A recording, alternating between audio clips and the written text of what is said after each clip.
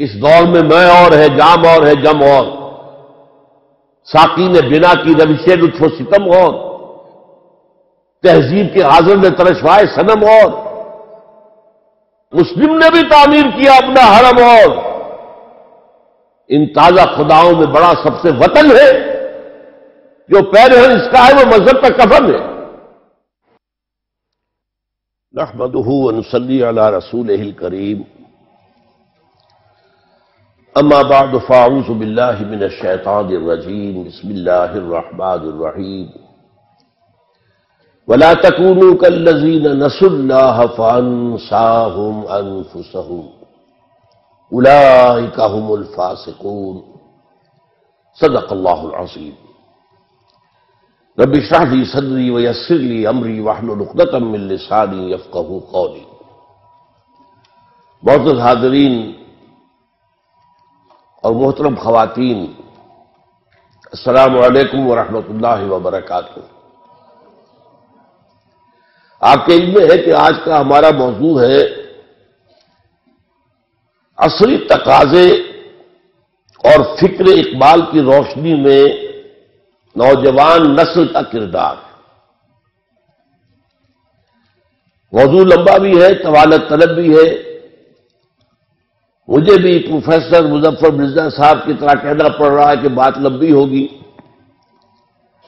اور مجھے امید ہے کہ آپ مجھ سے مختصر نہیں کرائیں گے۔ میرے نزدیک نوجوان نسل کے دو کام ہیں۔ ایک، خود اپنے آپ کو پہچانے۔ اپنی خودی پہچان، او غافل انسان۔ اس سے میری مراد کیا ہے؟ اپنے وطن کو پہچانے یہ وطن کون سا ہے؟ کیسے بنا ہے؟ کس نے بنایا تھا؟ کس مقصد کے لیے بنایا تھا؟ یہ جو ہے، خاص ہے ترکیب میں قوم رسول ہاشمی۔ یہ دنیا کی طرح کا عام ملک نہیں ہے، بہت خاص ملک ہے۔ اپنی ملت پر قیاس اقوام مغرب سے نہ کر، خاص ہے ترکیب میں قوم رسول ہاشمی۔ یہ شیر اگر صد فیصد اپلائی ہوتا ہے تو پاکستان کو۔ پھر یہ کہ اپنی ملت اور اپنی قومیت کو پہچانے پھر اپنی حقیقت کو یا اپنی خودی کو پہچانے اور پھر اپنے مقصد اور نصب العین اور زندگی کے مقصود کو پہچانے یہ پانچ پہچانے ہیں کہ جس کے بعد اب دوسرا کام کیا ہوگا؟ اس پہچان سے جو منزل مقصود معین ہو، اس کے لیے تن من دھن لگانے کا عہد کریں اب میں چاہتا ہوں کہ یہ مختلف پہچانیں جو ہے میں ان کی تھوڑی سی تفصیل بیان کر دوں۔ ہمارا وطن پاکستان۔ ڈاکٹر عیس محمد صاحب نے تو فرمایا کہ اس کی بنیاد پڑ گئی تھی دور نبوت ہی میں۔ خود قائد اعظم نے ایک مرتبہ فرمایا تھا کہ پاکستان اسی وقت بن گیا تھا جب ہندوستان میں پہلے ہندو نے اسلام قبول کیا۔ عام طور پر تحریک پاکستان میں حضرت مجدد الفسانی رحمت اللہ کا کردار، پھر سر سید احمد خان کا کردار بیان کیا جاتا ہے۔ لیکن واقعہ یہ ہے کہ پاکستان کے وجود میں آنے میں سب سے بڑا کردار دو شخصیتوں کا ہے، علامہ اقبال اور قائد اعظم۔ جہاں تک علامہ اقبال کا تعلق ہے، وہ اس ملک کے مجوز بھی تھے، تجویز پیش کرنے والے۔ مبشر بھی تھے، بشارت دینے والے کہ یہ قائم ہوگا۔ اور مصور بھی تھے اس کی رکشا کشی کرنے والے کہ وہ کیسا اسلام، کیسا پاکستان ہونا چاہیے۔ جہاں تک قائد اعظم کا تعلق ہے، وہ بیمار تھے، انہوں نے تعمیر کیا ہے۔ اقبال کی حیثیت آرکیٹیکٹ کی تھی، جس نے نقشہ دیا ہے۔ یہ دونوں کے مابین جو نسبت ہے اس کو ضرور سمجھ لیجیے میں تھوڑی سی وضاحت کر دوں۔ جس جماعت نے پاکستان بنایا اس کا نام مسلم لیگ وہ انیس سو چھ میں قائم ہوئی ہے ڈھاکہ میں۔ چوبیس برس تک نوٹ کر لیجیے انیس سو تیس تک مسلم لیگ صرف اشرافیہ کا ایک کلب تھا۔ نواب محسن الملک، نواب اسماعیل خان، نواب زادہ لیاقت علی خان، یہ نوابوں وڈیروں، بڑے لوگوں اور سرداروں کی جماعت تھی۔ عوامی جماعت سرے سے نہیں تھی۔ اور اس کا سارا مسمولہ کیا تھا؟ کہ ہندوستان کی آزادی کے بعد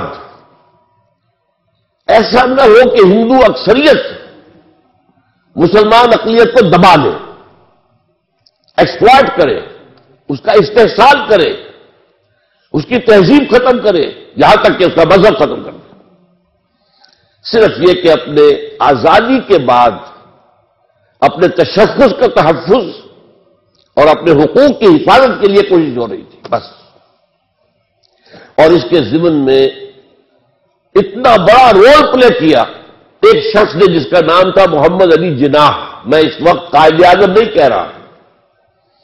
جس وقت کی بات میں کر رہا ہوں، اس وقت تک وہ قائد اعظم نہیں تھے، محمد علی جناح۔ اور نوٹ کر لیجیے وہ سیکولر خیالات کے حامل تھے، وہ قوم پرست تھے، وہ ہندوستان کی وحدت کے قائل تھے، وہ ہندو مسلم اتحاد کے سب سے بڑے سفیر تھے۔ ہندوؤں نے انہیں خطاب دیا، ہندو مسلم اتحاد کا سفیر۔ بھرپور کوشش انہوں نے کی۔ اور یہ بھی نوٹ کیجیے، انیس سو چھ میں وہ مسلم لیگ میں نہیں آئے۔ حالانکہ ہندوستان میں موجود تھے۔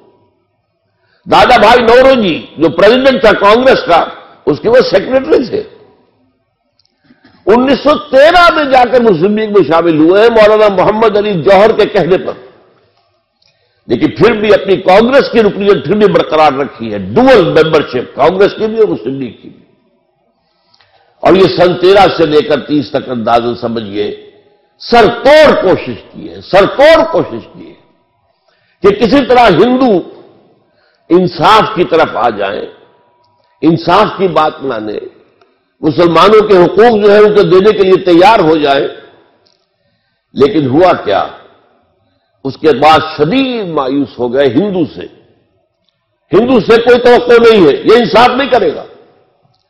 یہ تو برباد کر کے رہے گا، تباہ کر کے رہے گا مسلمانوں۔ اور اس کا یہ نتیجہ نکلا کہ انہوں نے سیاست کو خیر بات کہہ دی۔ انگلستان جا کر ایک کوٹھی خریدی اور اپنی لیگل پریکٹس شروع کر دی۔ آپ نے ایک نام سنا ہوگا، بہت بڑا نام ہے۔ ایس ایم اکرام، شیخ محمد اکرام، ان کی تین کتابیں بڑی یوں سمجھیے کہ کلاسک کتابیں ہیں۔ آب کوثر، موج کوثر، روز کوثر۔ وہ ایس ایم اکرام اس وقت پڑھ رہے تھے، انگلستان میں، آکسفورڈ میں۔ وہ چل کر آئے ہیں محمد علی جناح کے پاس لندن۔ انہوں نے کہا کہ آپ کیوں ہندوستان چھوڑ آئے؟ وہاں کے مسلمانوں کو تو آپ کی ضرورت ہے۔ یہ جملہ جو ہے محمد علی جناح کا، یہ تاریخی جملہ ہے۔ ہندوز آر انکورجیبل ہندو میں نے دیکھ لیا، تجربہ کر لیا۔ میں نے چما صدی کے تجربے کے بعد میں کہہ رہا ہوں کہ ہندو ناقابل اصلاح ہے۔ ہندوز آر انکورجیبل اور مسلمانوں کا حال کیا ہے؟ کہ ان کا بڑے سے بڑا لیڈر جو بات مجھ سے صبح کرتا ہے، شام تک گورنر کو یا کمشنر کو پہنچا دیتا ہے۔ تو ایسی قوم کی میں قیادت کیسے کروں؟ یہ میں نے چاہا کہ آپ مسلم لیگ کی تحریک کے دو ادوار کو تقسیم کر لیجیے انیس سو تیس پر۔ انیس سو تیس میں اب مسلم لیگ کے افق پر خورشید تازہ کے مانند طلوع ہوئی شخصیت علامہ اقبال کی۔ جبکہ محمد علی جناح مایوس ہو کر جا کر لندن میں بیٹھ چکے تھے۔ سیاست سے بے دخل، سیاست سے ہاتھ دھو چکے۔ انیس سو تیس کا جو خطبہ تھا علامہ اقبال کا، دہلی کا، ابھی ابھی آپ نے جو تذکرہ فرمایا، تیس دسمبر سن انیس سو تیس، الہ آباد۔ نہرو فیملی کا گھر، گڑھ بل کے گڑھ کہنا چاہیے۔ اس میں آپ نے دو کام کیے۔ ایک تو دلائی کے ساتھ ثابت کیا سوشولوجی کے تمام مسلمات کی روح سے ثابت کیا کہ مسلمان ایک علیحدہ قوم ہے۔ ظاہر بات ہے، یہ کام سے علامہ اقبال کر سکتے تھے، یہ فلسفی کے کرنے کا کام تھا۔ یہ ثابت کرنا تمدنی اصولوں کے مطابق مسلمان علیحدہ قوم ہے۔ مسلمان کسی دوسری قومیت میں ضم نہیں ہو سکتے۔ اور نمبر دو، انہوں نے مطالبہ کیا کہ مسلمانوں کو علیحدہ وطن دیا جائے۔ اور اس کے ضمن میں ایک بات جو انہوں نے کہی، وہ یہ تھی کہ یہ پروفیسی ہے۔ نوٹ کر لیجیے یہ لفظ، یہ ڈیسٹنی ہے۔ یہ میری پیشین گوئی جو تقدیر مبرم ہے کہ ہندوستان کے شمال مغرب میں ایک آزاد مسلمان ریاست قائم ہوگی۔ یہ تجویز نہیں تھی، اگرچہ اسی میں ڈیمانڈ بھی تھی۔ ایک ڈیمانڈ یہ تھی کہ جب تک انگریز یہاں ہے، ان علاقوں میں ملا کر ایک صوبہ بنا دیا جائے۔ یہ پنجاب، سندھ، سرحد، بلوچستان کو ملا کر ایک صوبہ بنا دیا جائے۔ تاکہ مسلمانوں کے اندر یہ تھوڑی بہت نسلی لسانی جو فرق اور تفاوت ہے، رفتہ رفتہ یہ ختم ہو جائے۔ ظاہر بات ہے جب تک انگریز ہے، علیحدہ آزاد ملک تو نہیں بن سکتا۔ لیکن جب انگریز جائے ود ان برٹش امپائر اور ود آؤٹ یا باہر، یہ ایک آزاد ملک بن جائے۔ دوسری بات جو آپ نے کہی، دوسرا خواب جو آپ نے دیکھا، وہ کیا تھا؟ کہ اگر ہمیں یہ مل گیا، پاکستان ہمارا، پاکستان کا لفظ استعمال نہیں کیا تھا، اگر علیحدہ ملک مل گیا، تو ہمیں ایک موقع مل جائے گا کہ اسلام کے چہرے پر جو بدنما داغ اور دھبے آ گئے تھے دورے امپیریلزم میں دورے شہنشائیت میں ذرا نوٹ کیجیے اس جملے کو سمجھنا ہوگا پہلے۔ اسلام کا ایک دور ہے، حضور کا زمانہ اور خلافت راستہ اس دور کا اسلام کچھ اور تھا۔ پھر دور ملوکیت کا ہے، بنو امیہ کا اسلام، بنو عباس کا اسلام اور ترکوں کا اسلام، یہ اسلام۔ سلجوکیوں کا اسلام، مغلوں کا اسلام صفیوں کا اسلام، یہ اسلام کچھ اور تھا۔ لیکن طویل طور تو انہیں کا ہے۔ دنیا اسلام کو دیکھتی ہے ان کے آئینے میں۔ ہمیں موقع مل جائے گا کہ اسلام کے چہرے سے یہ بدنما داغ اور دھبے ہم دھو دیں۔ اور اسلام کی اصل روح کے مطابق یہ پھر الفاظ نوٹ کیجیے۔ اسلام کی اصل روح کے مطابق اور اصل حاضر کے زمانے کے تقاضوں کے مطابق ہم ایک نظام اور ایک دنیا کے اندر ریاست قائم کر کے اسے روشنی کا مینار بنا دیں یہ تھا نظریہ پاکستان۔ آج کل ہمارے ہاں بہت سے دانشور ہیں، کالم نگار ہیں۔ انہوں نے ایک عجیب گمراہ کن بات شروع کر دی ہے۔ پاکستان میں نظریہ کچھ نہیں تھا۔ یہ صرف بڑی ہوئی بات ہے گڑی ہوئی بات ہے۔ یہ بات صحیح کہ پاکستان کا نظریہ انیس سو چھ سے نہیں تھا، لیکن انیس سو تیس سے تھا۔ اور چونکہ در حقیقت بات کی مسلم لیگ کو میں کہتا ہوں کہ وہ اصل مسلم لیگ، وہ دور، وہ اقبال کی مسلم لیگ ہے۔ اس لیے اگلی بات میں آپ سے پھر کہوں گا کہ جب علامہ اقبال نے یہ انجیکشن دیا ہے، جو مسلم لیگ کی ایک تحریک تھی، اس میں جو ہے اب یہ انجیکشن دیا، احیاء اسلام۔ ہم تو دنیا میں دوبارہ اسلام کا نقشہ پیش کرنا چاہتے ہیں۔ یہ تو مشنری رول تھا، داریانہ رول تھا، پیغمبرانہ رول تھا۔ اس رول سے ظاہر بات ہے کہ خون گرم ہوا ہے ملت اسلامیہ ہندوستان کا۔ اور اس کے اندر وہ جوش پیدا ہوا ہے، جو علامہ اقبال کی شاعری سے بھی بہت پہلے پیدا ہو چکا تھا شاعری کے ذریعے۔ لیکن اب آپ علامہ اقبال گئے ہیں انیس سو بتیس میں لندن۔ تیسری گول بیس کانفرنس۔ اس میں محمد علی جناح شریک نہیں تھے، لندن میں تھے، لیکن چونکہ سیاست چھوڑ چکے تھے، لہذا اس گول بیس کانفرنس میں نہیں تھے، علامہ اقبال گئے تھے۔ وہاں انہوں نے وہ جو خطبہ اقبال تھا، اس کی جو ہے ریزولنس ہو چکی تھی، وہاں پر رمز میکڈونلڈ اس وقت کا وزیر اعظم تھا، انگلستان کا۔ اس نے یہ الفاظ کہے ہیں، تاریخی الفاظ۔ A poet has destroyed our dreams of united India ایک شاعر علامہ اقبال کی طرف اشارہ کر رہا ہے۔ ایک شاعر نے ہمارے جو خواب تھے کہ ہندوستان واحد رہے، متحد رہے، ہمارے سارے خواب پریشان کر دیا توڑ پھوڑ کر رکھ دیا یہ میکڈونلڈ کے اپنے الفاظ اتنا زور تھا اس خطبہ الہباد کے اندر۔ اور اس سے وہ جو شخوش مسلمانوں میں پیدا ہو گیا تھا کہ پرائم منسٹر آف برٹن یہ کہہ رہا ہے a poet has destroyed our dreams of a united India بہرحال اسی موقع پر حضرت علامہ اب محمد علی جناح سے ملاقات کرتے ہیں۔ ان کے جسم میں بھی وہی انجیکشن لگاتے ہیں۔ کہ دیکھو، اب تک تم نے صرف مسلمان اشرافیہ کے ساتھ بات کی ہے ایلیٹ کے ساتھ بات کی ہے۔ عوام میں آؤ۔ اور نمبر دو، صرف حقوق کا تحفظ نہ کرو۔ یہ ڈیفینسو انداز ہے۔ آفینسو انداز لو ہم اسلام غالب کریں گے۔ اسلام قائم کریں گے۔ اسلام نافذ کریں گے۔ ایز حاضر کی جدید ترین اسلامی ریاست قائم کریں۔ یہ انجیکشن ہے۔ جو انیس سو تیس میں مسلم لیگ کو لگا، انیس سو بتیس میں قائد اعظم کو لگا۔ پھر اس کے کچھ عرصے کے بعد اور لوگوں نے بھی کوششیں کی۔ نواب زیادہ لیاقت علی خان نے بھی کہا، آپ آئیے واپس۔ بارہ اس کے بعد جب آئے ہیں محمد علی جناح، پھر انہوں نے آ کر اسلام کا راگ لاپا ہے۔ پھر انہوں نے ہندوستان کے شہر شہر میں کریے کریے میں، بستی بستی میں جا کر، میں تو یہ کہتا ہوں، انہوں نے اسلام کی قوالی گائی ہے۔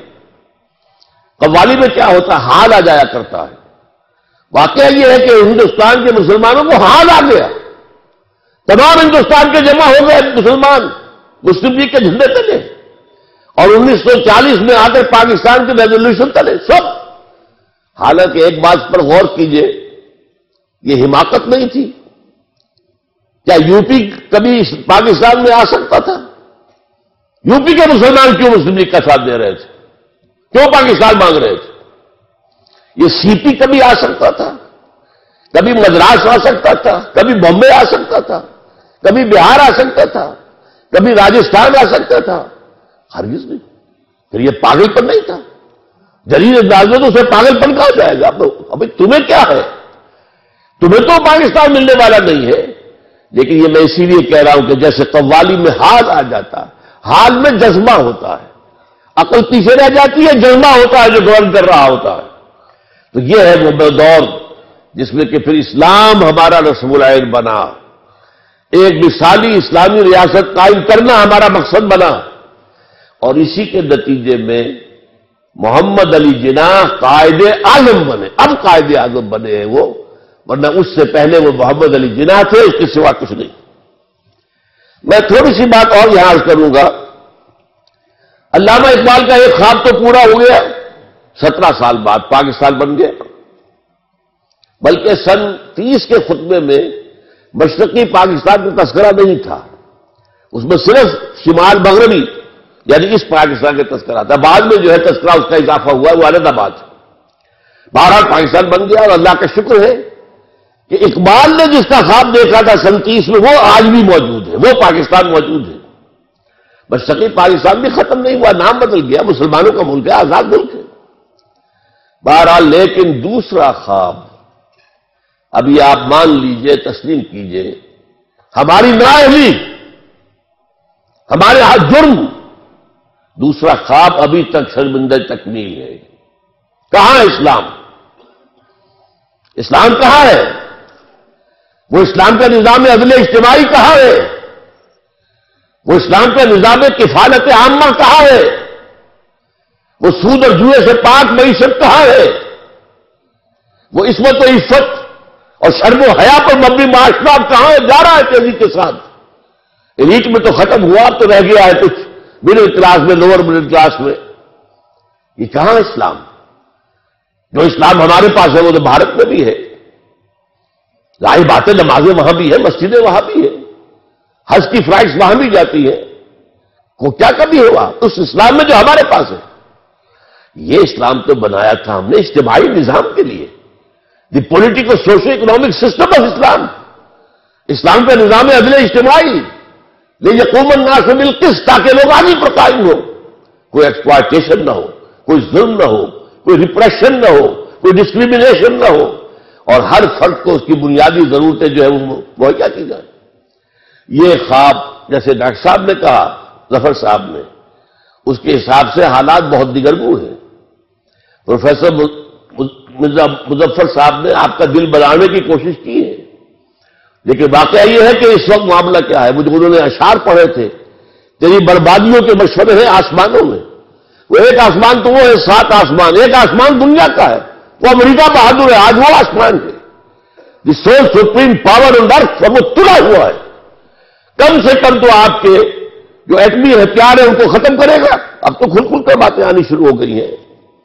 اور یہ کہ اس کے بعد آپ کو بھارت کے رحم و کرم پر چھوڑ دے گا۔ اللہ یہ کہ ہم اللہ کو دوبارہ راضی کر لیں۔ اللہ سے توبہ کریں۔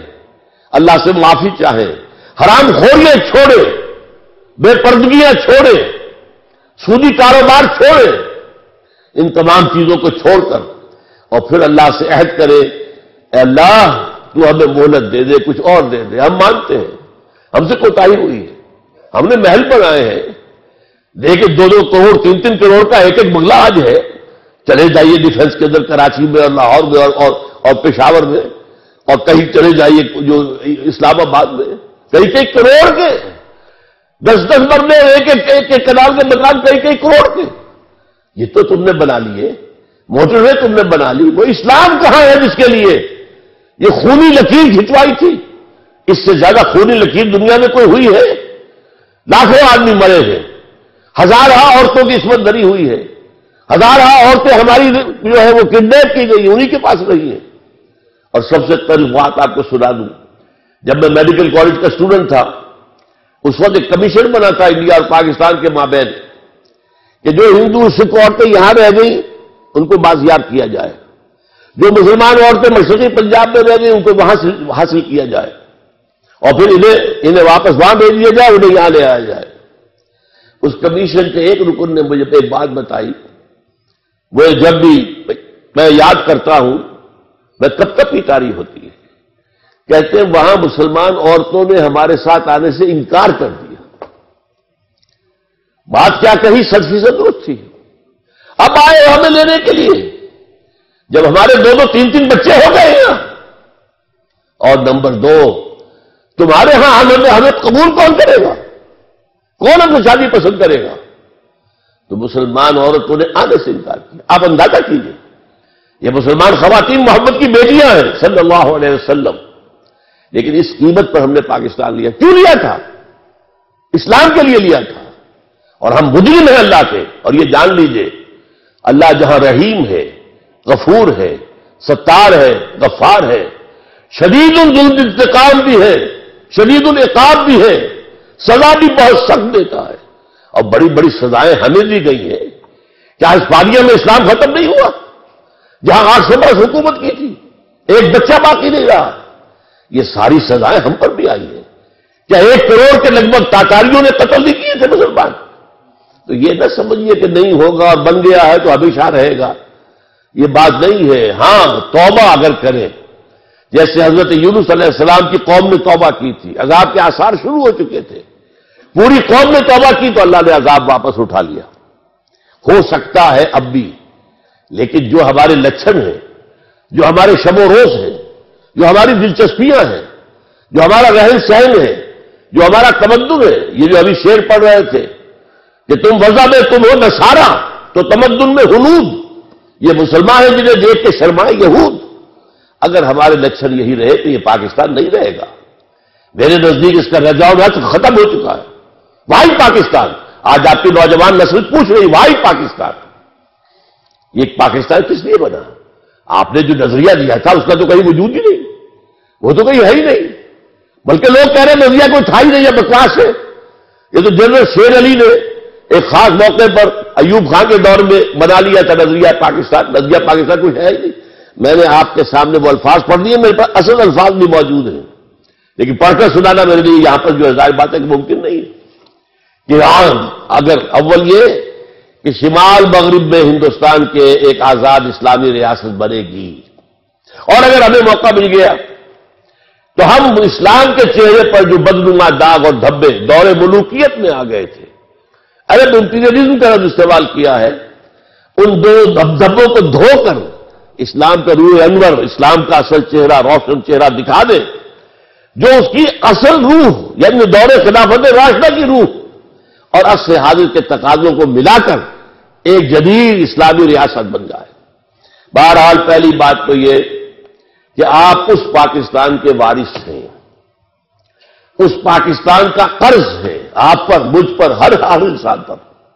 لیکن ہم نے اگر صرف اپنے پروفیشنز اپنی کوٹیاں اپنے ڈرائنگ رومز اپنے ہی سب سارے جو ہے، اعلیٰ سے اعلیٰ کار اور اعلیٰ سے اعلیٰ جو ہے، بڑے سے بڑا ٹی وی لا کر رکھنا اگر زندگی کا مقصد یہ بن گیا تو دیکھنا ان بستیوں کو تم کے ویراں ہو گئی دیکھنا ان بستیوں کو تم کے ویراں ہو گئی یہ جو اشار پڑھے تھے ڈاکٹر صاحب نے وہ صحیح ہے بالکل۔ تمہاری داستان تک بھی نہ ہوگی داستانوں میں۔ آپ کے جو تھنک ٹینک ہے امریکہ میں بیٹھے ہوئے، وہ کہہ رہے ہیں، بیس سو پندرہ کے بعد کوئی پاکستان نہیں ہوگا نقشے کے اوپر۔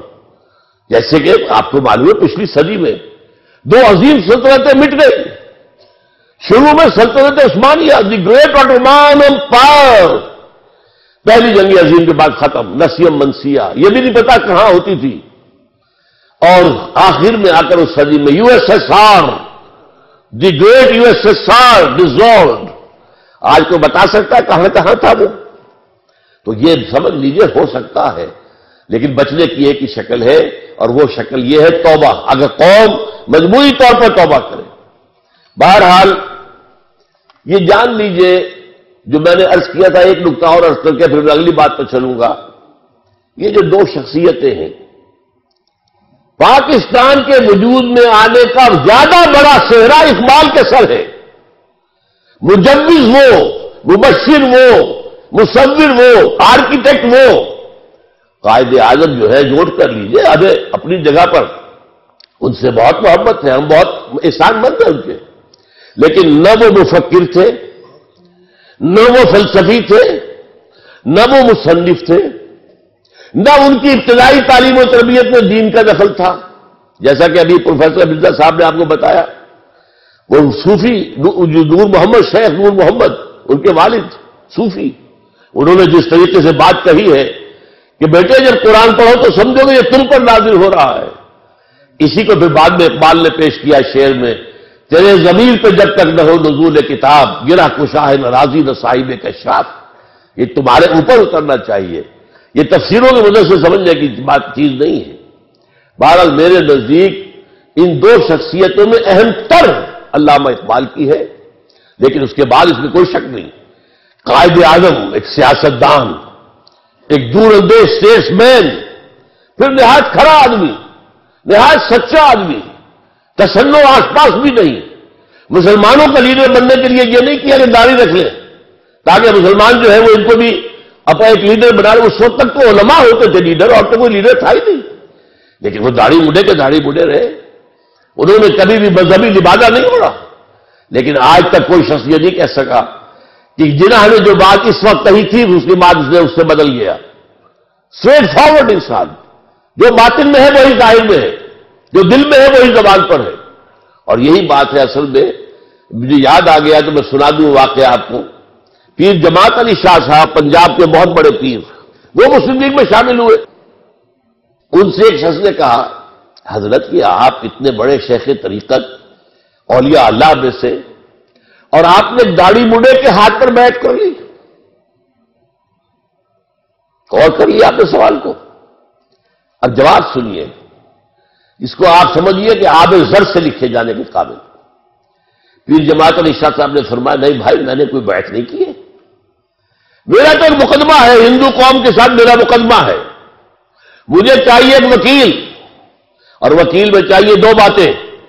ماہر ہو اور نمبر دو، بکنے والا نہ ہو۔ یہ دو اصاف ہے محمد علی جناح کے اندر۔ میں نے اس لیے اسے اپنے قومی مقدمے کا وکیل بنایا ہے۔ اس کے ہاتھ پر کوئی بیٹھ نہیں کی ہے۔ تو ہمیں چاہیے احترام، یقیناً دونوں کا ہے۔ دونوں کے ممنون احسان ہیں ہم، لیکن ہم سے غلطی ہوئی ہے۔ جب بھی ہم نظریات پاکستان کی بنیاد کی بات کرتے ہیں، تو زیادہ اہمیت قائد اعظم کو دے دیتے ہیں۔ ان کے اقوال، ان کی تقاریر، ان کی کوئی کتاب تو ہے ہی نہیں۔ کوئی مرتب فکر ان کا ہے ہی نہیں۔ نہ وہ مصنف ہے نہ مفکر ہے نہ فلسفی ہے کچھ بھی نہیں۔ وہ تو ایک ٹھیک ہے، ان کی تقاریر ہے اور ان کی بیانات ہیں، وہ ہوتے تھے موقع کے مطابق۔ ایک ہر جگہ پر جو ہے، اس کے وقت کے حساب سے وہ جگہ کے حساب سے بیان دے رہے ہیں۔ اس اعتبار سے ان دونوں میں ہمیں فرق کرنا چاہیے کہ زیادہ زیادہ ہم انڈیٹڈ ہے ٹورڈز علامہ اقبال۔ اگرچہ ہم انڈیٹڈ ہے ٹورڈز قائد اعظم بھی۔ اب آئیے دوسری بات۔ یہ تو میں نے پاکستان کی بات کی ہے۔ ہماری ملت اور قومیت کون سی ہے؟ اس کی پہچان کیا ہے؟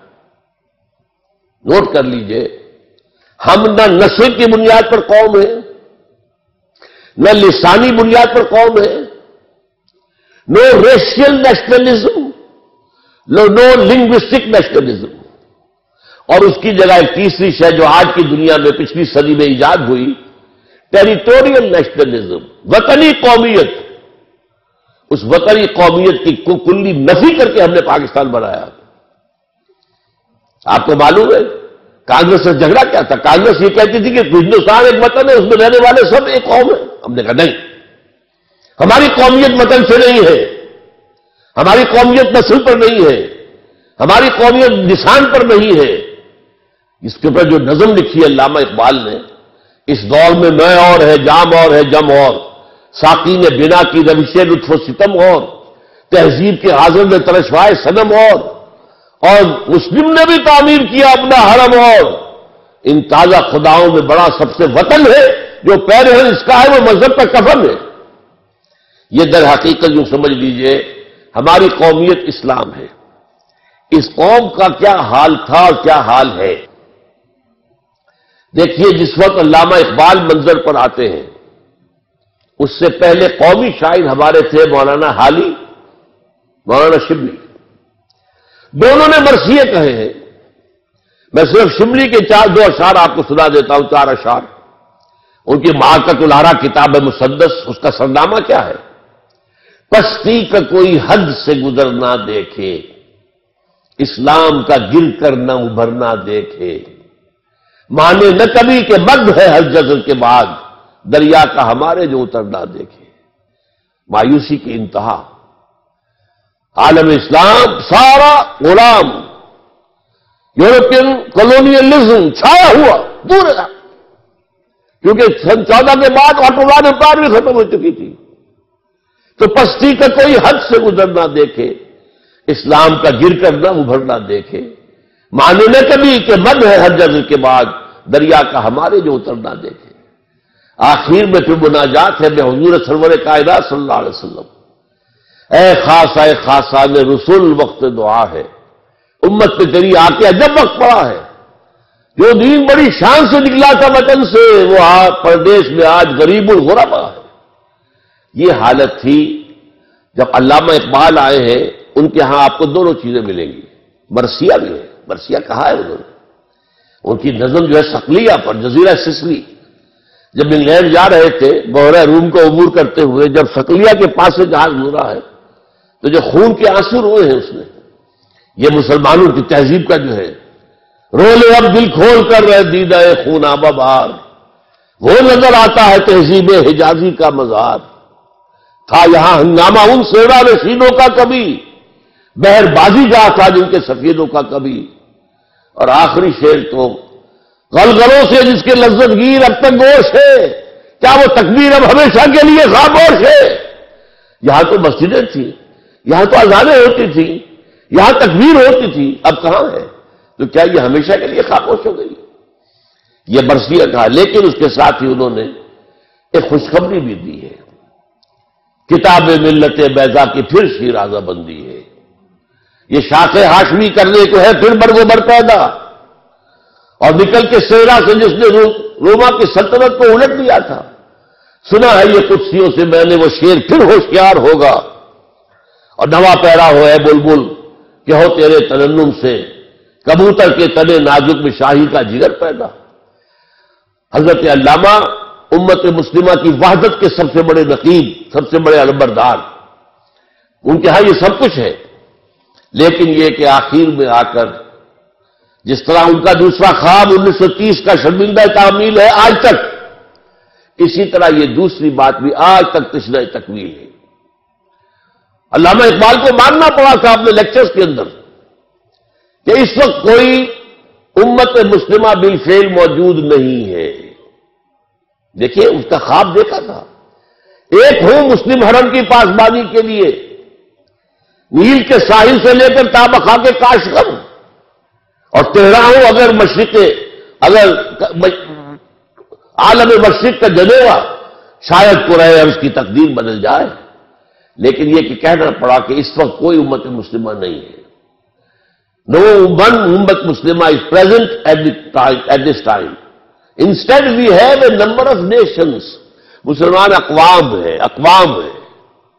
وہ اقوام آج جو ہے وہ ملکوں کی شکل اختیار کر چکے۔ نمبر آف مسلم کنٹریز ایک تو نہیں ہے وحدت تو نہیں ہے مرکزی نظام کوئی نہیں ہے۔ ان کی وحدت کا نشان خلافت ہوتی تھی، وہ بھی ختم ہو چکی۔ کہیں بھی نہیں ہو آئی سی وغیرہ جو ہے، وہ کیا کیا ہے، بیٹھے نشستن گفتن برخاست اربوں کا حال کیا، تیس کروڑ کے قریب ارب، اور ان کے سینے کے اندر خنجر بھوکا ہوا ہے۔ اسرائیل کا۔ کیوں نہیں کر سکتے؟ بول نہیں سکتے۔ پھر بھی اسی امریکہ کے جو ہے غلام ہے، کہ جس کا بغل بچہ ہے وہ، جس کا اڈاپٹڈ سن ہے، اسرائیل۔ جس کو کہا حضرت علامہ نے کہا تھا، حضرت قائد اعظم نے۔ The illegitimate child of the West یہ حرامی بچہ ہے مغرب مغرب کا، Israel. Illegitimate child of the West آج وہ جو ہے سینے میں پیوست ہے۔ اور جو چاہتا کرتا ہے، دلدلاتا ہے۔ تو معلوم ہوا کہ وہ خواب جو ہے امت کی تجدید کا، وہ بھی ابھی کہیں بھی آس پاس بھی اس کے آسان نہیں۔ اب یہ دو کام میں نے گنوا دیے ہیں آپ کو۔ یہ لیگیسی ہے علامہ اقبال کی، ایک اس پاکستان کے اندر اسلامی نظام قائم کرنے کے لیے جد و جہد اور تن من دھن اس کے لیے لگا دینا، کیریئر ساری نہیں رکھیے۔ یہ کھانے کمانے کا مشغلہ ہے۔ میں تو کہا کرتا ہوں کہ ایک موچی بیٹھا ہوا سڑک کے اوپر، جوتیاں گاٹتا ہے اور کچھ پیسے کھاتا ہے، کماتا ہے، رات کو کھاتا ہے۔ ایک سرجن جو ہے پیٹ چاک کر کے پھر بعد میں سی دیتا ہے۔ فرق کیا ہے؟ وہ بھی روزی کما رہا ہے، یہ بھی روزی کما رہے ہیں۔ یہ مقصود نہیں ہے۔ یہ زندگی کا رسول عین نہیں ہے۔ رسول عین، اللہ کی رضا، اللہ کے دین کا غلبہ، اس کے لیے جد و جہد، اس کے لیے صحابہ اور حضور کے طرز پر کوئی کوشش۔ یہ ہے کہ جس کو ہمارے ذمہ میں قرض ہے۔ اب آئیے چند باتیں میں ذرا جلدی جلدی چاہوں گا۔ علامہ اقبال کے جو اور احسانات ہم پر ہیں۔ سب سے پہلے علامہ اقبال نے بہت صدیوں کے بعد یہ تصور دیا کہ اسلام صرف مذہب نہیں ہے، دین ہے۔ ہمارا مذہبی طبقہ اس کو مطمئن ہو چکا تھا۔ مذہب۔ بس عقیدہ ٹھیک ہو، نماز روزہ ہو اور حج کرائیں اگر استطاعت ہے، طواف کر لیا کرے، عمرہ کر لیا کرے، اگر رمضان کے اندر احتکاف کا موقع مل جائے۔ باقی سور نہیں کھانا، سود نہیں کھانا، بس۔ یہ تصور کے اسلام دین ہے، نظام ہے۔ نظام عدل اجتماعی ہے۔ سسٹم آف سوشل جسٹس ہے۔ یہ ختم ہو چکا تھا۔ یہ اقبال ہے جس نے دوبارہ ریوائو کیا ہے۔ میں اس تصور دین کا مجدد مانتا ہوں علامہ اقبال کو۔ جنہوں نے کہا اسلام دین ہے۔ سیاست اس کے تابع ہونی چاہیے۔ جدا ہوگی سیاست سے تو رہ جاتی ہے چنگیزی۔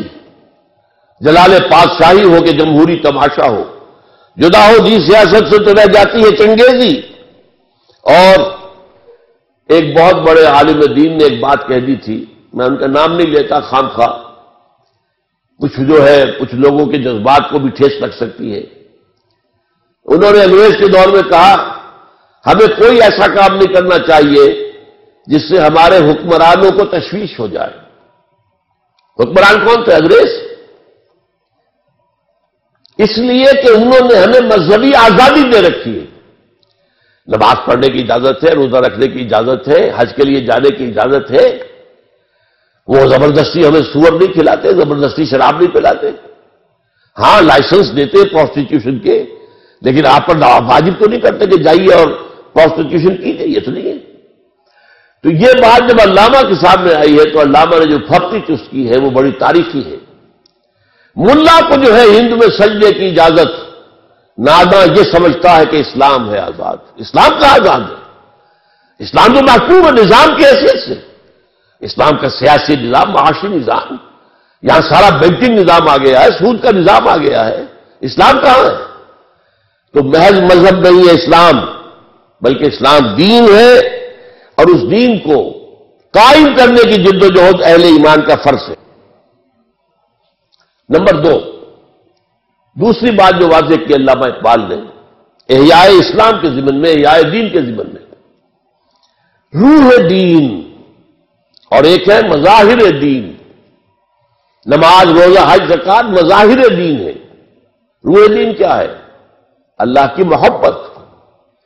جب تک یہ محبت اندر نہیں ہے یہ نماز روزہ بے اصل ہے۔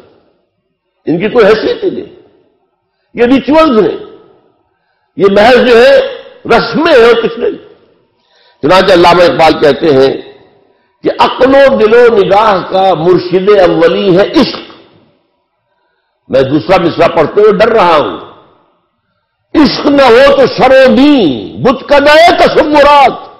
بت کدا یہ رسمیں ہماری معبود بن گئی ہیں۔ رسمیں ہمارا مقصود بن گئی ہیں۔ وہ اللہ کی محبت کہاں ہے؟ سورہ بقرہ میں تو اللہ فرماتا ہے وہ لذین آمن اشد محبت دلہ جو واقعی ایمان والے ہیں، ان کے دلوں میں سب سے شدید محبت اللہ کی ہوتی ہے۔ اور آپ نے اس عزیزہ کی زبان سے جو اشعار سنے علامہ اقبال کے، شوق اگر تیرا نہ ہو، میری نماز کا امام، میرا سجود بھی حجاب، میرا قیام بھی حجاب۔ جب تک کہ اس کے خدا بندی نہیں ہے، اس کے رسول نہیں ہے۔ عقل و دل و نگاہ کا مرشید اولی ہے عشق۔ عشق نہ ہو تو شر و دی متقد تصورات۔ اور یہ یہ متقد تصورات پر جو اگلا شعر کہہ دیا ہے، میں تو کہتا ہوں یہ جرت نانا اقبال کی تھی جو کہہ سکتا تھا۔ کیا نہیں کوئی غزنوی کار رہے حیات میں، بیٹھے ہیں کب سے منتظر اہل حرم کے سومنات۔ اہل حرم نے ان رسومات کو اپنا معمود بنا لیا ہے۔ کیا اس سومنات یہ نیا سومنات جو اہل حرم نے بنایا ہے اپنا، اس کا بھی کوئی غزنوی آئے گا کہ نہیں آئے گا؟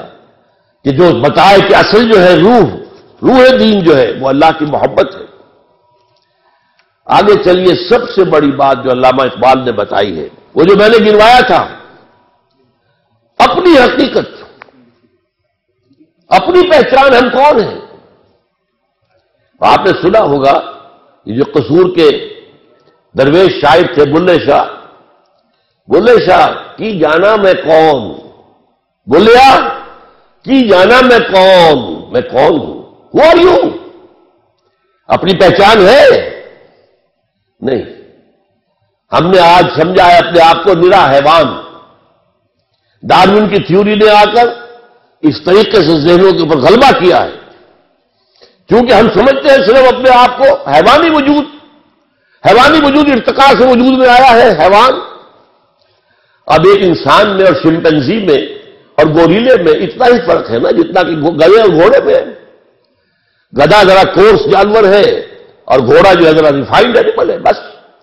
ہم ریفائنڈ ہومیو ہومو ہے ہومو سیپینس اس سے پہلے نہ معلوم کتنے ہومو اور کتنے ہوئے تھے۔ لیکن اصل میں یہ ہے کہ انسان کی حقیقت کچھ اور ہے۔ انسان دو وجودوں سے مرکب ہو کر بنا ہے۔ وجود حیوانی، وجود روحانی۔ روح، یہ روح ہے جس کی بنا پر یہ مقصود ملائک بنا۔ دو جگہ قرآن میں، سورہ ہجر میں، سورہ سعود میں فرشتوں سے کہہ دیا تھا اللہ نے کہ میں مٹی سے ایک بشر بنانے والا ہوں۔ انی خالق البشرم من سلطان من ہماری مسنون۔ فیضا سمے تو ہوں نفق تو بھی روحی فقو لہو ساجدین جب میں اسے تیار کر لوں اور اس میں اپنی روح میں سے پھونک دوں، تو پر جا پڑنا اس کے سامنے سجنے میں، گر جانا سجنے میں۔ وہ تو اصل روح ہے۔ وہ روح ہے جو ہم ہیں، اصل حقیقت ہماری۔ ہم تھوڑے بیٹھے یہ حیوانی وجود ہمارا ہے۔ یہ حیوانی وجود مٹی سے آیا ہے، خاک سے آیا ہے۔ یہی سے اس کی غذا آ رہی ہے۔ گندم ہے تو وہاں سے آ رہی ہے۔ چاول ہے تو وہاں سے آ رہا ہے۔ بکری کا گوشت کھایا تو بکری نے بھی گھاس پات کھایا ہوا جس سے گوشت بنا ہے۔ اور یہ روحانی وجود عالم بالا سے آیا ہے۔ یہ عرصے اللہ سے آیا ہے۔ اور اس کے اس کی غذا جو آتی ہے، وہ بھی اللہ کا کلام ہے۔ اس کا تغذیہ اور تقویت کلام اللہ کے ذریعے۔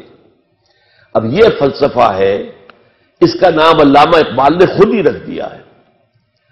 چنانچہ سید نذیر نیازی جو علامہ کے خاص قریب بیٹھنے والے تھے، ہم نشین تھے۔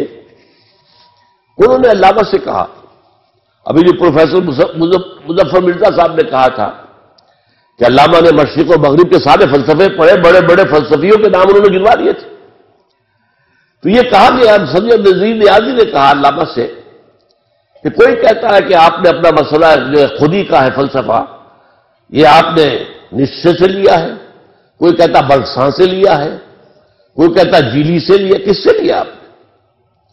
فرمایا اچھا کل فلاں وقت آ جانا، میں تمہیں ڈکٹیٹ کرا دوں گا۔ سید نذیر نیازی نے یہ واقعہ ہماری قرآن کانفرنس میں سنایا خود۔ کہتے، میں بڑا خوش۔ میری خوش نصیبی شاعر مشرق مجھے ڈکٹیٹ کرائیں گے کہ فلسفہ خود ہی میں نے کہاں سے لیا ہے۔ گیا میں خوشی خوشی، پینسل کاپی تیار کر کے، جب میں بیٹھ گیا تو فرمایا، ذرا قرآن مجید نکال لینا۔ کہتے ہیں کہ میرے ارمانوں پر اوس پڑ گئی۔ میں سمجھتا تھا، فلسفے کی کتاب نکلوائیں گے، وہ ہسٹری آف فلاسفی کی کتاب نکلوائیں گے، کچھ بھی نہیں، قرآن۔ کہا، کھولو اسے۔ بہت سورہ حشر۔ اس کی آیت انیس۔ ولا تکون کل لذین نس اللہ فانسا انفسہم ان لوگوں کے مانند نہ بن جانا، جنہوں نے اللہ کو بلا دیا۔ تو اللہ نے انہیں اپنے آپ سے غافل کر دیا۔ آپ سوچئے یہ اپنا آپ کون سا ہے جس سے انسان غافل ہوتا ہے؟ کیا ہم اپنے حیوانی وجود کے تقاضوں سے غافل ہوتے ہیں؟ پیٹ کھانے کو مانگتا ہے۔ کیا اس کے لیے بھاگ دوڑ نہیں کرتے؟ ہماری دوسری خواہش ہے، شادی کرتے ہیں۔ ہمیں آرام چاہیے، ہمیں چھت چاہیے اپنے سر کے اوپر، بناتے کہ نہیں بناتے گھر؟ یہ سارے معاملات جو ہیں یہ در حقیقت ہم کسی چیز سے غافل نہیں ہوتے۔ دانت میں درد ہو جائے تو چاہے رات کو جا کر ایک بجے کسی ڈینٹل سرجن کے جو ہے جا کر گھٹیا بجا بجا کے بجا بجا کے اسے جگانا پڑے۔ ہوتا ہے کہ نہیں؟ وہ کون سا اپنا آپ ہے جس سے وہ غافل ہو گیا انسان؟ اسی اپنا آپ کو ایک اور شیر میں علامہ اقبال نے بیان کیا ہے۔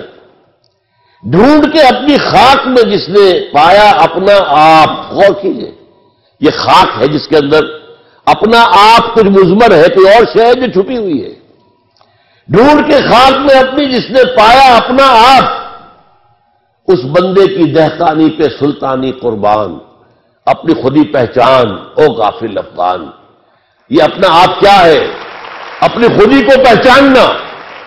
یہ جو روح روح ہے، جو اللہ سے بہت قریب ہے، یہ روح جو ہے، غافل تو نرا صاحب ادراک نہیں ہے۔ ہے نور تجلی بھی اسی خاک میں پنہا تم خاکی ہو، لیکن اس میں اللہ تعالیٰ کی تجلی موجود ہے۔ یہ تجلی ہے جس کا نام روح ہے۔ یہ ہے جو ہمارا اصل ایسنس ہے۔ اور اس کے لیے میں آپ کو اپنشد کا ایک جملہ سنا دیتا ہوں۔ میرا اندازہ یہ ہے کہ اپنشد جو ہے، وہ حضرت ابراہیم علیہ السلام کے صحیفے ہیں بگڑی ہوئی شکل میں۔ توجہ کیجیے۔ قرآن میں جن کتابوں کا ذکر تورات موجود ہے۔ چاہے محرف ہے تحریر شدہ ہے تو صحیح۔ زبور موجود ہے بک آف سامس انجیل موجود ہے، اگرچہ بگڑی ہوئی ہے۔ تو پھر یہ زوف ابراہیم کہاں گئے؟ صوب ابراہیم کہاں گئے؟ میری تحقیق یہ ہے کہ ابراہیم کی ایک شاخ وہ ہندوستان میں آ کر آباد ہوئی ہے۔ وہ برہمن، یہ برہم ابراہیم سے بنا ہے، برہمن۔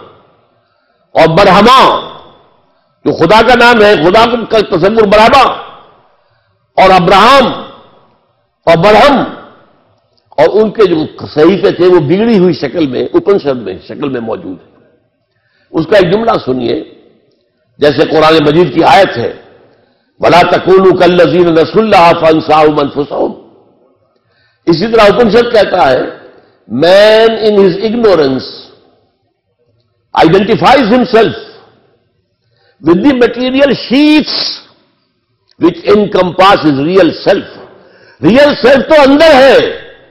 یہ گوشت جو ہے لپٹا ہوا ہے، یہ ہڈیاں گوشت اور پوست اور یہ کھال، یہ سب جو ہے لپٹے ہوئے ہیں۔ یہ نہیں ہے تم تم کچھ اور ہو، تم وہ ہو جو اندر بیٹھا ہوا ہے۔ وہ ہے وہ انسان۔ وہ ہے انا، وہ ہے خودی۔ وہ ہے فرائڈ کی زبان میں ایگو۔ وہ ہے۔ وہ اصل انسان ہے۔ یہ تو در حقیقت لباس ہے اس کے۔ نمبر چار، نظام دین کی تشریح جو علامہ اقبال نے کی۔ اقبال نے اس دور میں اسلام کے سیاسی، معاشی اور سماجی نظام کی بھرپور جو ہے وضاحت کی۔ سیاسی نظام کی دو باتیں۔ اسلام میں انسان کے لیے حاکمیت نہیں ہے۔ حاکمیت صرف اللہ کے لیے ہے۔ سرمری زیبا فقط اس ذات میں ہم کو ہے حکمراں ہے ایک وہی، باقی متانے حاضری۔ ساورنٹی بلونگس ٹو گاڈ انسان کے لیے کیا ہے؟ خلافت۔ اور خلافت کے معنی کیا ہے؟ جو ہمارے یہاں وائس رائے ہوتا تھا، انگریز ہمارا حاکم تھا بادشاہ یا ملکہ تو ہوتی تھی لندن میں، یہاں کون ہوتا تھا؟ دلی میں۔ وائس رائے۔ ان کا آپس میں رشتہ کیا تھا؟ جو حکم لندن سے آ جائے گا اسے تو امپلیمنٹ کرنا ہوگا ایس سچ وائس رائے کو اس میں تبدیلی کرنے کا اختیار نہیں ہے۔ البتہ جہاں کوئی حکم نہیں ہے، اسے اپنی لوکل سرکم شاسن لوکل جو ہے دیکھنے چاہیے۔ اپنی پوری ذہانت سے کام لے کر، جو بھی امپائر کے لیے بیسک بات نظر آئے، وہ کر لے۔ یہ خلافت ہے۔ یہ وائس ڈیورنسی ہے۔ Man is the vice of God man is not the ruler سرور سروری زیبا فقط اس ذات بے ہمتا کو ہے۔ حکمراں ہے، ایک وہی باقی مطابق حاضری۔ اس کی جو بادشاہت ہے، اس کی معنی کیا ہے؟ اس کی کتاب اور اس کے رسول کی سنت کے تابع رہو گے۔ جہاں ان دونوں کا حکم ہے، سر تسلیم خب۔ جہاں حکم نہیں ہے، یہ امرحم ہے۔ اللہ نے تمہارے اوپر چھوڑ دیا ہے۔ امرحم شورا بین آپس میں مشورہ کر کے معاملہ طے کر لو۔ یہ ہے اسلام کا نظام۔ یہ ڈیموکریسی نہیں ہے۔ یہ تھیوکریسی نہیں ہے۔ ڈیموکریسی کی بنیاد ہے پاپولر ساورنٹی پر۔ ساورنٹی یہ اللہ کی ہے۔ یہ اپنا نظام ہے۔ نظام خلافت ہے۔ آگے چلیے اسی طریقے سے۔ معاشی نظام کا اصل کیا ہے؟ اصل الاصول ملکیت تامہ۔ صرف اللہ کی ہے۔ جیسے حاکمیت مطلقہ اللہ کی ہے۔ انسانوں کے لیے خلافت۔ ملکیت تامہ ہر شے اس کائنات میں جو ہے اللہ مالک ہے۔ لہو ملک کو سباواتے واللہ آسمان و زمین کی ملکیت اس کی ہے۔ انسان کے لیے جو کچھ ہے، امانت ہے۔ جو علامہ اقبال کہتے ہیں کہ رزق خود رہا زمین بردن دواشت ای متائے بنداؤ مل کے خداست زمین سے اپنے لیے روزی نکال لینا جائز ہے. لیکن اسے ملکیت نہ سمجھو. یہ بتائے بندہ بندے کے لیے استعمال کی چیز ہے. مل کے خداست اور یہ خدا کی ملکیت ہے. یہ تو صدی اس پچھلی صدی میں اقبال نے کہا ہے نا. سات سو آٹھ سو سال پہلے شیخ سادی کہہ چکے ہیں ای امانت چند روزہ نس باست در حقیقت مالک ہر خداست۔ جو بھی ہمارے پاس ہے۔ آپ غور کیجیے، ہم اپنے جسم کے مالک نہیں ہیں۔ یہ جسم بھی ہمارے پاس امانت ہے۔ یہ ہاتھ بھی اللہ کی امانت ہے۔ اسی اللہ کی مرضی کے کام میں استعمال کرو گے۔ اللہ کی مرضی کے خلاف استعمال نہیں کرو گے۔ یہ تمہارے پاؤں، یہ اللہ کی امانت ہے۔ اللہ کی مرضی کے مطابق چلو گے ان سے۔ غلط رخ پر نہیں جاؤ گے، غلط نصب ہے منزل کی طرف نہیں جاؤ گے۔ تو یہ ہے، در حقیقت مالک ہر شے خداست این امانت چند روزہ نزدباست اور تیسری بات جو ہے، اسلامی معاشی نظام میں ہر شخص کی بنیادی ضروریات کی کفالت زکات کے ذریعے سے۔ یہ جو سوشل انشورنس کا پروگرام آج دنیا میں ہے، چیریٹی، ویلفیئر جس میں ہائیسٹ لیول پر اسکینڈینیوین کنٹریز ہے یہ سب سے پہلے اسلام نے دیا۔ سب سے پہلے عمر نے کہا تھا رضی اللہ تعالیٰ عنہ کہ اگر کوئی دجلہ و فرات کے کنارے کتا بھی بھوکا مر گیا تو عمر ذمہ دار ہوگا۔ یہ آج بھی نہیں ہے آپ کے پاس۔ لیکن یہ کہ اسلام نے دیا تھا پہلے۔ تو بہترین نظام آئلی نظام یا سماجی نظام، اس کا پہلا اصول کیا ہے؟ تمام انسان پیدائش کی طور پر برابر۔ کوئی اونچا نہیں، کوئی نیچا نہیں۔ کوئی بڑھیا نہیں، کوئی گھٹیا نہیں۔ نوٹ کر لیجیے میری بات کو، پیدائش کی طور پر۔ گورا کالا ایک، مشرقی مغربی ایک، قریش اور ہمشی ایک، سب ایک مرد اور عورت ایک۔ کوئی فرق نہیں ہے۔ مرد افضل نہیں ہے عورت سے، نوٹ کر لیجیے۔ ایک اعتبار سے، انتظامی اعتبار سے بات اور ہوگی، وہ بات میں بتاؤں گا میں۔ لیکن پیدائشی طور پر all human beings by birth are absolutely equal اس کے بعد فرق کیسے پڑتا ہے؟ وہ ایکوائرڈ کریکٹر سے پڑے گا۔ آپ نے علم زیادہ حاصل کیا ہے، آپ افضل ہو گئے۔ آپ نے نیکی کا کام زیادہ کیا ہے، آپ افضل ہو گئے۔ آپ متقی زیادہ ہیں۔ ان اکرما کو مند اللہ اتقاق آپ متقی اوپر ہو گئے۔ ایک پیدائشی طور پر کوئی فرق نہیں ہے انسانوں کے اندر۔ اور یہ جو میں نے آپ سے کہا، جب نظام خاندان بنتا ہے، اس میں ظاہر بات ہے عورت اور مرد ویسے برابر ہیں۔ ہیومن آنر ہیومن رسپیکٹ اس سب میں برابر ہے ہیومن بینگس ہے ایک ہی باپ کے نطفے سے ہے، بیٹا بھی اور بیٹی بھی۔ اور ایک ہی ماں کے رحم پہ پرورش پائی ہے، بیٹے نے بھی بیٹی نے بھی۔ فرق کیسے ہو جائے گا؟ کوئی فرق نہیں۔ ہاں when they enter into a marriage act contract now they are not equal شادی ہو گئی آپ کو ادارہ بنانا ہے ایک ادارے کے دو سربراہ برابر کا اختیار رکھنے والے نہیں ہو سکتے سوچئے آپ کے کالج کے دو پرنسپل ہو سکتے کسی مینیجنگ کمیٹی کے دو چیئرمین ہو سکتے دو مینیجنگ ڈائریکٹر ہو سکتے امپاسبل انتظامی اعتبار سے فرق ہو جائے گا۔ اب ادال و قوابون لیکن یہ انتظامی معاملہ ہے، بس۔ یہ نہیں ہے کہ عورت کمتر ہے اور مرد جو ہے وہ برتر ہے۔ عورت افضل، مفضول ہے مرد جو ہے افضل، نہیں۔ پھر یہ کہ اس سماجی معاملے میں اللہ تعالیٰ کا نظام جو ہے، جو جس کی اقبال نے کی ہے، حافظ ناموس زن۔ مرد آزما، مرد آفری، پورا نظام کیا ہے؟ یہ سیگریگیشن آف سیکسس اسلام نے جو دیا جو آج ہمارے یہاں نہیں ختم ہو رہا ہے۔ یہ ہمارے یہاں سطر اور پردے کے احکام جو ختم ہو رہے ہیں تیزی کے ساتھ۔ یہ جو گھر کی چار دیواری ہے، یہ قلعہ ہے۔ اب یہ ختم ہو رہا ہے۔ اب تو گھر وہ بنتے ہیں جن میں چار دیواری ہے ہی نہیں۔ وہ تو در حقیقت سامنے سے بھی کھلا، پیچھے سے بھی کھلا ہے۔ پہلے وہ گھر بنتے تھے۔ چاروں طرف تعمیر، درمیان میں سہن اور یہ نہیں ہوتا تھا کہ اگلے مکان سے وہاں کو جان سہن کے اندر کہیں کوئی جو نگاہ پڑ جائے، نہیں، ممکن ہی نہیں۔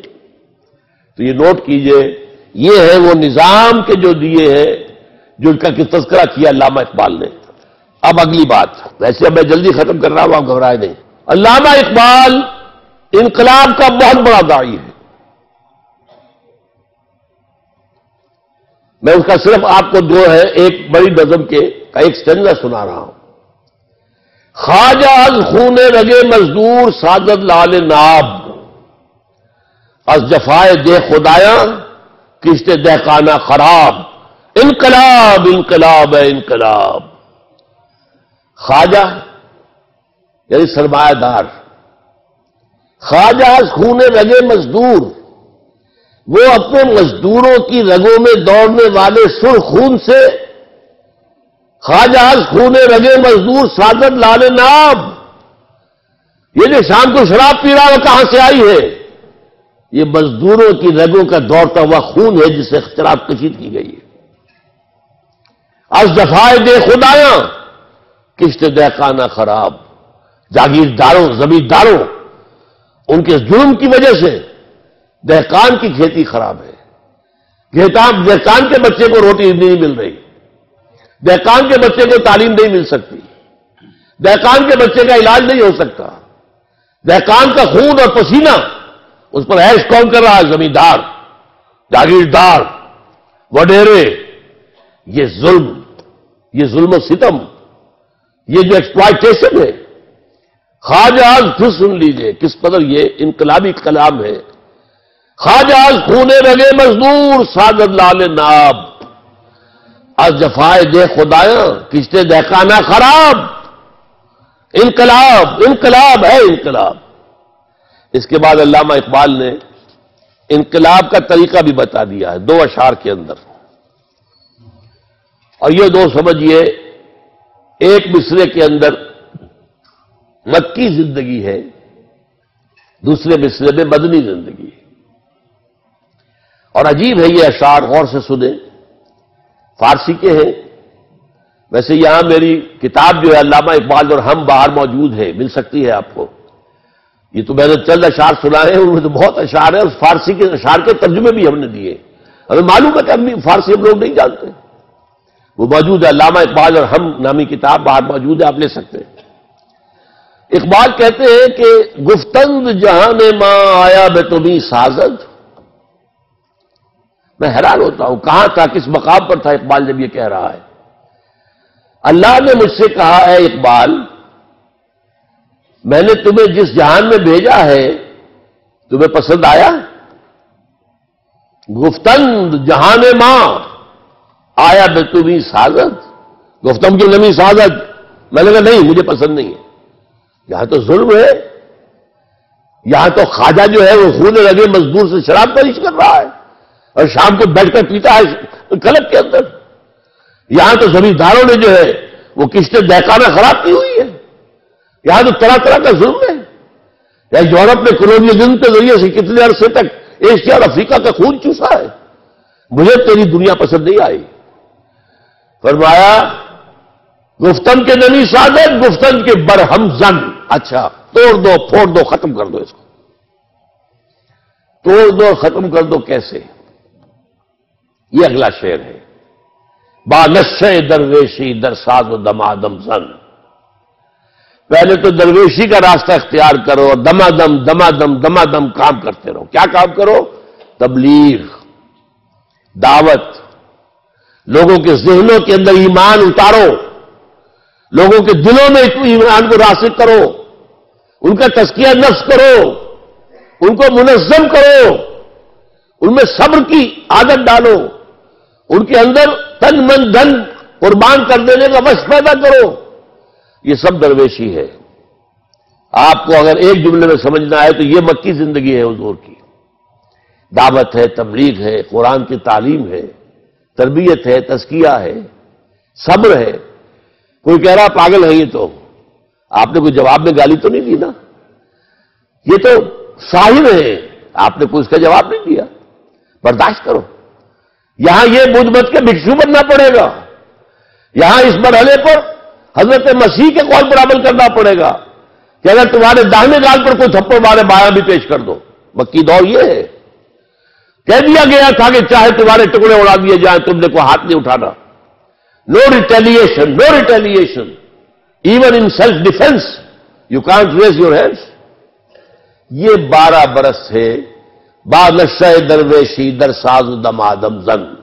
یہ جماعت بنانا، ایک حزب اللہ بنانا، ایک جمعیت فراہم کرنا، سرفروشوں کی جو سروں سے کفن باندھ چکے ہوں، جو اپنے آپ کو تابع کر چکے ہو ایک نظم کے۔ اللہ کے نظم کے بھی تابع اور جماعت کے نظم کے بھی تابع۔ بادشاہ درویشی در ساز و دمادم زن۔ جو پختہ شبی خدرا بر سلطنت جم زن۔ جب تیار ہو جاؤ، طاقت کافی ہو جائے۔ انف آف نمبرس تربیت بھی ان کی اچھی ہو گئی ہے۔ منظم بھی ہے۔ سب کچھ قربان کرنے کو تیار بھی ہے۔ جان دینے کو کامیابی سمجھتے ہیں۔ شہادت ہے مطلوب و مقصود مومن۔ نہ مال غنیمت تک اس پر کشائی۔ تو اب سلطنت جم سے ٹکرا دو اپنے آپ کو۔ یہ ہے انقلاب کا پروسیس ایک مصرے میں مکی زندگی ہے اور ایک میں مدنی زندگی ہے۔ اب آئیے آخری بات۔ اقبال اور قرآن۔ میری جو خصوصی نسبت اقبال کے ساتھ ہے وہ قرآن کے حوالے سے۔ قرآن مجید کے حوالے سے میں آپ سے ایک بات کہوں گا۔ علماء تو بے شمار ہیں ہمارے ہاں۔ عربی زبان کے ایک سے ایک بڑھ کر جاننے والے، گرامر کے ایک سے ایک بڑھ کر جاننے والے کلام جاہلی ایک سے ایک بڑھ کر جاننے والے۔ اس کے باوجود میں آپ سے کہتا ہوں، عظمت قرآن کا جو انکشاف اقبال پر ہوا ہے، میں عمر کی اٹھہترویں برس میں کہہ رہا ہوں، اپنی عمر بڑھ کا نچوڑ کہہ رہا ہوں، وہ میں نے کسی بڑے سے بڑے عالم کے اندر بھی نہیں پایا۔ جس قدر انکشاف ہے، عظمت قرآن کا انکشاف یہ ہو سکتا ہے وہ جو اقبال نے کہا ہے کہ فقی شہر جو ہے، لغت ہائے عربی کا قانون ہے لغتیں جانتا ہے۔ لیکن یہ کہ وہ جو انکشاف ہے، عظمت قرآن کا۔ اب میں چند شعر آپ کو سناؤں گا۔ آ کتاب زند قرآن حکیم۔ حکمت او لا یزال استو قدیم۔ یہ کتابیں زندہ ہے۔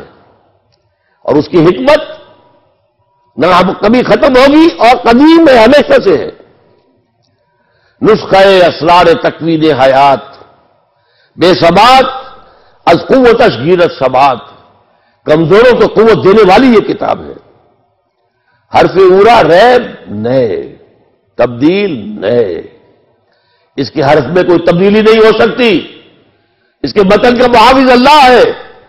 انا نالو نزل ذکر و انا لہو حافظ حرف اورا ریب کوئی شک نہیں۔ ظال کا کتاب لال ہے بفی حرف اورا ریب نئے۔ تبدیل، نئے۔ آیا شرمندہ تعبیل نئے۔ نو انسان پیام آخری۔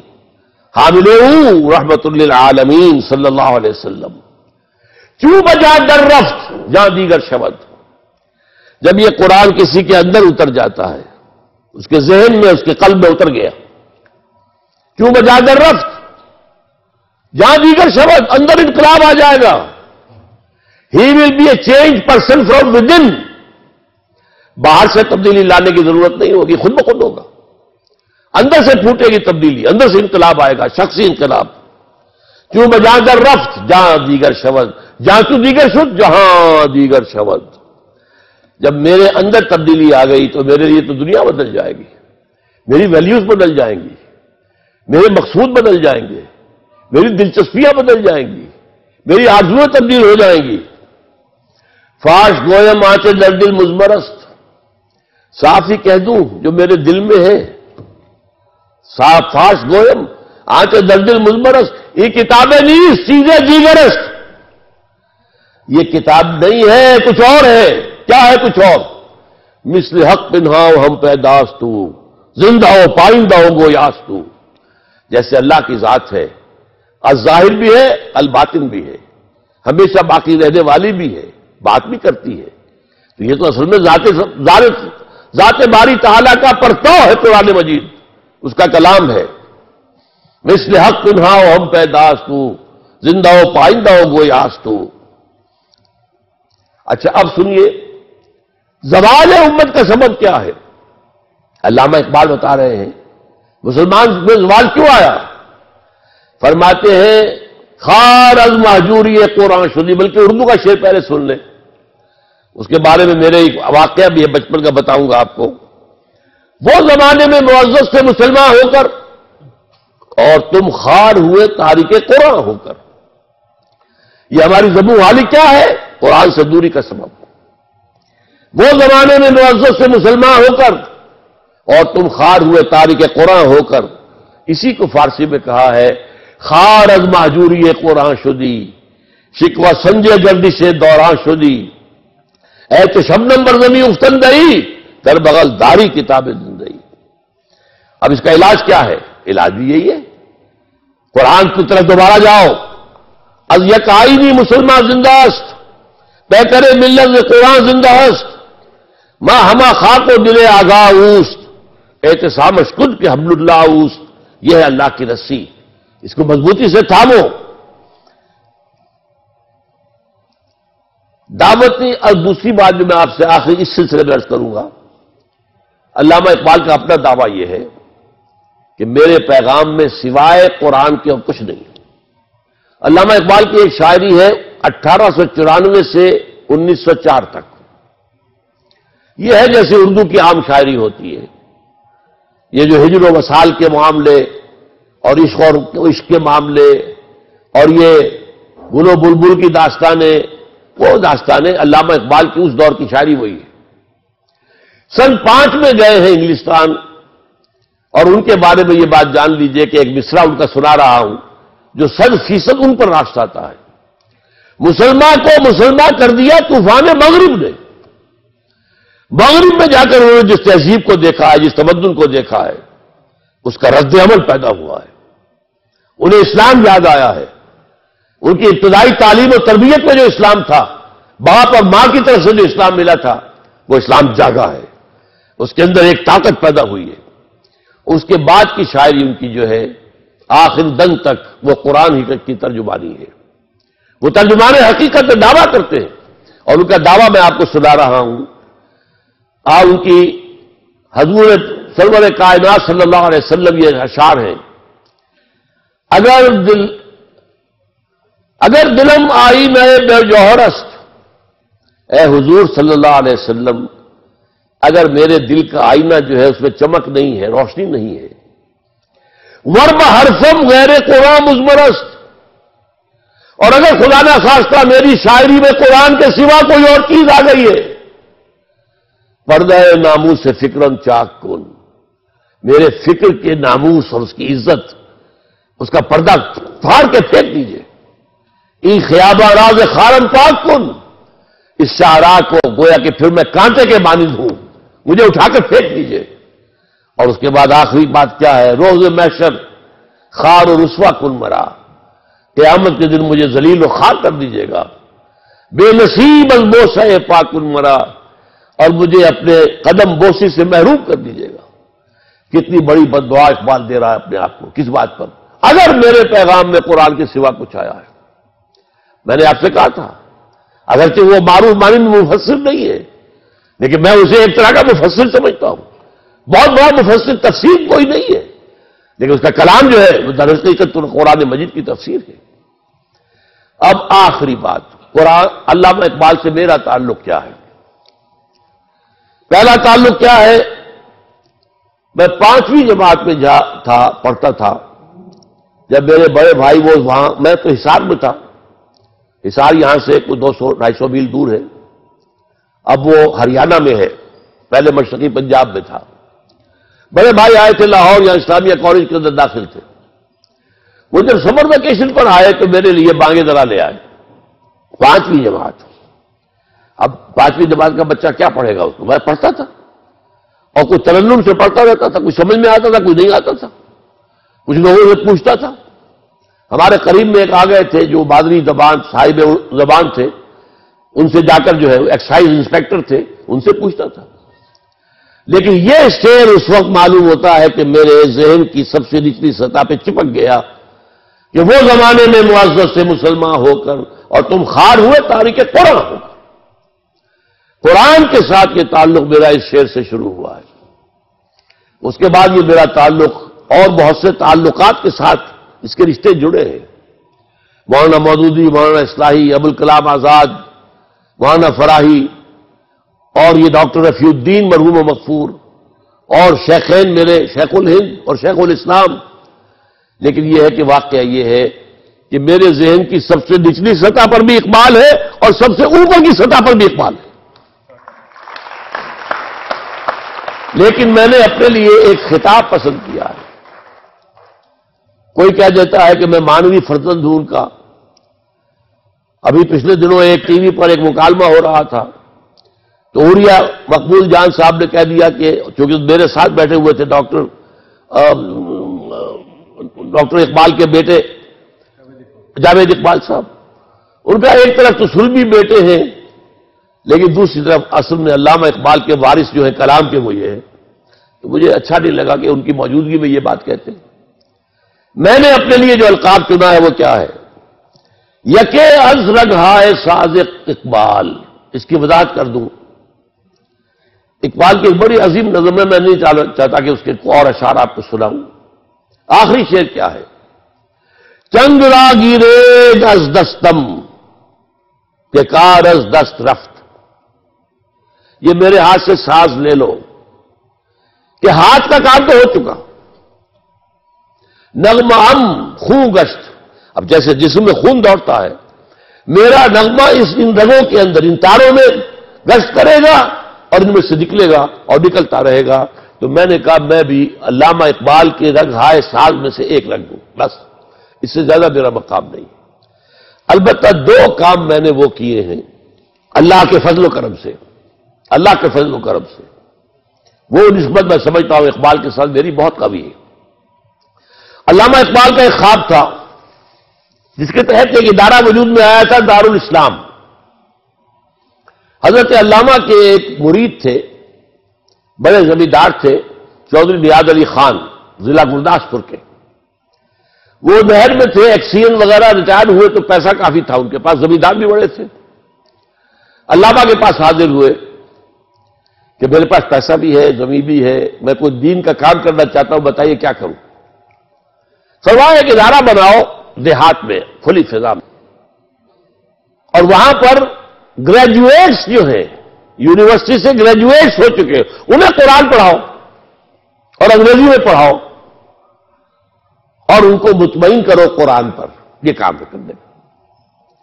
انہوں نے کیا کیا؟ ایک وقف بنایا، اب بھی وقف موجود ہے جوہر آباد یہ جوہر آباد جو ہے اس کے اندر وہ وقف موجود ہے، اب بھی موجود ہے۔ وقف بنا دیا، عمارتیں بن گئی ایک خط لکھا، مصطفیٰ مراغی، جو آج کے ریکٹر تھے اس وقت وائس چانسلر کہ ہمیں ایک ایسا عالم دین دیجیے جو انگریزی میں گریجویٹ کو قرآن پڑھا سکے اور قرآن پر مطمئن کر سکے۔ انہوں نے کہا، ہمارے پاس ایسا کوئی آدمی نہیں ہے۔ وہ اسکیم دھری رہ گئی۔ اگرچہ ایک مفید کام ہوا وہاں وہاں بعد میں مولانا مودودی حیدرآباد دکن سے ہجرت کر کے علامہ اقبال کے کہنے پر آئے ہیں، تو ان کا مرکز وہاں رہا ہے، وہ جماعت اسلامی وہی بنی ہے۔ لیکن وہ جو ادارہ تھا کہ گریجویٹس کو رکھ کر عربی اور قرآن پڑھایا جائے اور قرآن پر مطمئن کیا جائے، وہ کام نہیں ہو سکا۔ الحمدللہ للہ صبح الحمد میرے ہاتھوں اللہ نے انجمن خدام القرآن قائم کرائی۔ اس کے تحت قرآن اکیڈمی قائم کرائی۔ اور اب تو کئی جگہ پر ہے۔ لاہور میں ہے، ملتان میں ہے، کراچی میں ہے فیصلہ آباد میں ہے، جنگ میں ہے۔ اور ہم نے یہاں پر ایک سالہ کورس رن کیا ہے۔ یہ سن چوراسی پچاسی میں چل رہا ہے۔ اس میں گریجویٹس بھی آتے ہیں۔ کچھ انڈر گریجویٹس کو بھی ہم اگر وہ ذرا ذہن ان کا ذرا کھل چکا ہو تو لے لیتے ہیں۔ ایم اے آتے ہیں، ایم بی بی ایس آتے ہیں۔ انجینئر آتے ہیں، پی ایچ ڈیز آتے ہیں آ کر قرآن پڑھتے ہیں اور الحمدللہ مطمئن ہو کر جاتے ہیں۔ تو اقبال کا وہ خواب وہ خواب اللہ نے میرے ذریعے سے، یہ اللہ کا بڑا فضل ہے مجھ پر۔ اور میں اس لیے اس کو آپ بتا رہا ہوں، آپ کے کس قدر قریب ہے واکنگ ڈسٹینس پر ہے یہ قرآن اکیڈمی ہے۔ یہاں ہمارے تمام جو ہے، میری کتابیں موجود ہیں۔ وہاں سے آپ استاد لے سکتے ہیں، اس کی لائبریری سے استفادہ کر سکتے ہیں۔ وہاں سے آپ یہ ہے کہ اگر میرے کیسز وغیرہ لینا چاہے لے سکتے ہیں۔ اگر وہاں پہ آپ ذرا امانت رکھوا دیں کیسٹ واپس کریں؟ ویڈیو کیسٹ آڈیو کیسٹ اور واپس دیجیے اپنے پیسے نہیں چاہیے اس سے استفادہ کیجیے میں نے اس لیے چاہا ہے کہ میں اس ادارے سے آپ کو متعارف کرا دوں۔ یہ ادارہ وہ ہے جس کا خواب اقبال نے دیکھا تھا، ادارہ ادار الاسلام کے ذریعے سے۔ وہ اللہ کے فضل و کرم سے قرآن اکیڈمیز کی شکل میں پاکستان میں متعدد مقامات پر ہے۔ اور دوسری بات دیکھیے علامہ اقبال نے مسلم لیگ کو کے لیے قائد اعظم کو تجویز کیا، قائد اعظم کو لیڈر بنایا، ان کے ساتھ عام کارکن کی حیثیت سے کام کیا۔ یہ ان کا جو ہے رول اپنی جگہ ہے، لیکن ساتھ ہی ان کے دل میں خواہش بار بار آتی رہی۔ اور وہ یہ کہ ایک ایک قومی تحریک کے نتیجے میں تو قومی ریاست بنے گی۔ مسلم لیگ قومی جماعت تھی۔ اب قوم میں زانی بھی تھے، شرابی بھی تھے، بدماش بھی تھے، اچھے بھی تھے، نیک بھی تھے۔ تاجل گزار بھی تھے، نماز روزے کے پابند بھی تھے سبھی تھے نا۔ آپ کو معلوم ہے، ریڈ لائٹ ایریا کے چودھری بھی اس میں تھے۔ اور وہاں پر بہت سے لوگ جو اس قسم کے مسلم لیگ کے صدر بھی بن جاتے تھے۔ ایسی جماعت سے تو اسلام نہیں آ سکتا۔ اسلام تو آتا ہے، وہ بعد اکثر درویشی والا اسلام۔ جب تک ان مناظر سے نہ گزرے، اسلام نہیں آئے گا۔ یہ تصور تھا جس کے تحت انیس سو بتیس میں، تیس میں تو خطبہ آباد تھا، انیس سو بتیس میں ڈاکٹر ظفر الحسن ہوتے تھے، علی گڑھ یونیورسٹی کے head of the department of philosophy انہوں نے خط لکھا کہ آپ نے یہ اتنا بڑا فسوق تو ہمارے اوپر پھونک دیا ہے، اسلام کے احیاء کا جذبہ، اس کے لیے جماعت کون سی ہوگی؟ یہ تصور اس وقت سے پک رہا تھا۔ اس کے بعد خط و کتابت ہوئی ہے۔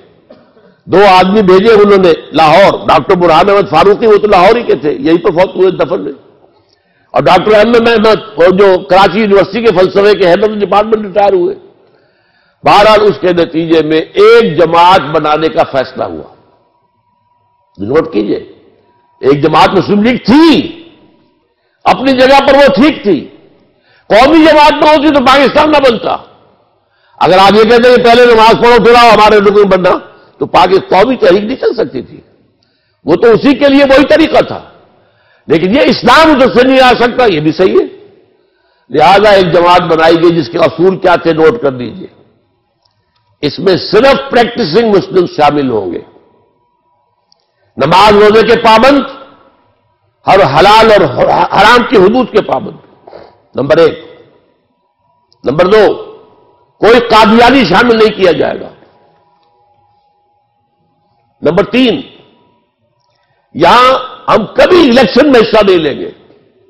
الیکشن کے ذریعے سے نظام نہیں بدل سکتا۔ وہ تو انقلاب کے ذریعے بدلتا الیکشن کے ذریعے سے ہاتھ بدل سکتے چہرے بدل سکتے جماعتیں بدل سکتی ہیں۔ نظام نہیں بدلتا۔